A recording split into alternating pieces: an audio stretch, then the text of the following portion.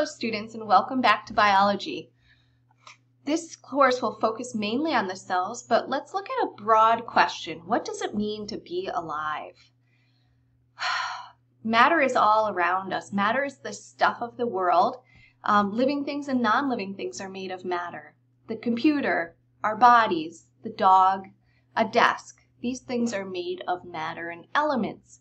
But what separates the living from the non-living?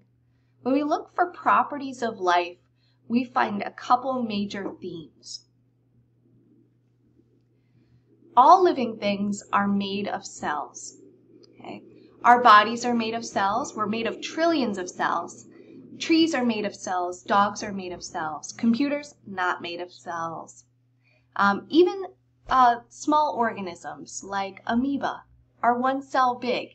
We can see some properties of the cell in an amoeba enclosed in a plasma membrane. It has cytoplasm and genetic material. Um, we'll talk more about those parts of a cell later on in this semester.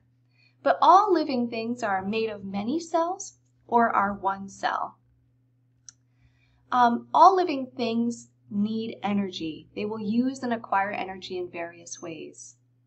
Plants do a process called photosynthesis, where they can convert solar energy to sugar energy and that chemical sugar energy can be used to drive chemical reactions and it can be converted into other high energy molecules in the cell. That's great for a plant and great for organisms that eat plants.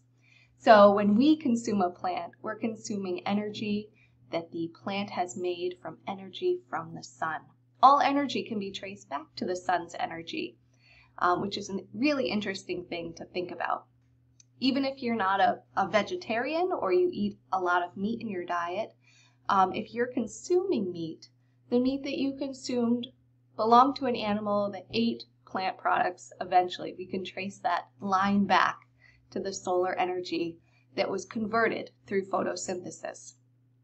Um, and we use energy in various ways. Energy can be used to drive cellular um, activity, can be used to make cells move, help cells to reproduce, but on a bigger scale, when we think about our bodies, that energy can be used to help move us around or help us think.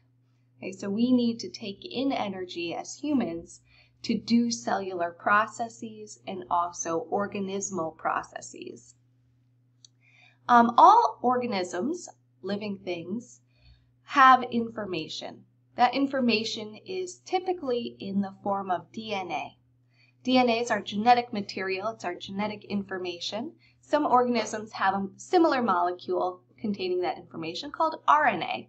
They're very similar molecules, and the molecules code for everything the cells do and everything the organisms do. So genetic information is present throughout all of life. Computers, even though they can convey information for us, do not have genetic information in the form of DNA or RNA. Um, that information can be passed on from parent to offspring. Replication is another uh, word for reproduction. Organisms uh, as a whole will reproduce, and populations will continue through that reproduction. Now keep in mind, not every organism in a population needs to reproduce. Um, if you look around to people you know, some people will have children, some people won't have children, uh, but as a whole, our population is reproducing to sustain itself. So replication is important. It happens even on the cellular level. A cell will reproduce to repair itself and allow an organism to grow. Um, cellular replication is happening all the time in our bodies as our cells get old and die. Think about the inside of your mouth your cheeks are lined with these tiny little cells that get scraped off every time you chew food. Those cells need to be replaced very frequently. So cellular replication is happening at a rapid rate inside your mouth. Bone cells also need to be replaced over time. That happens a little more slowly. Cell replication can be quick or slow depending on the type of cell and the type of organism that's doing the replication. And lastly, a theme that we see in life is evolution. Evolution, very simply put, is a change in a population over time. Okay? A population is a species of organisms in a certain area. Okay? So we see populations changing over time, and we'll talk more about that um, in this semester and in chapter one. Here's a pretty picture showing some diversity of life. Um, this is plants and animals. Uh, nothing to show for the fungi and protists and bacteria that are also all around us. One thing I like about biology is that there is a lot of diversity in living things, but all living things are unified by those themes. All these living things, even though they look differently, have genetic material, they have replication at the cellular level and the organismal level. They're involved in evolution. They're all made of cells, and they all need and use energy in various ways. So they look different, but they have a lot of similarities. Even when we get to the cellular level, sometimes it's hard to pick out which organism is which. Here's a picture of a couple cells. Well, more than a couple. That big circle that you see right here is a human egg cell, and all the smaller cells with tails called flagella are sperm cells.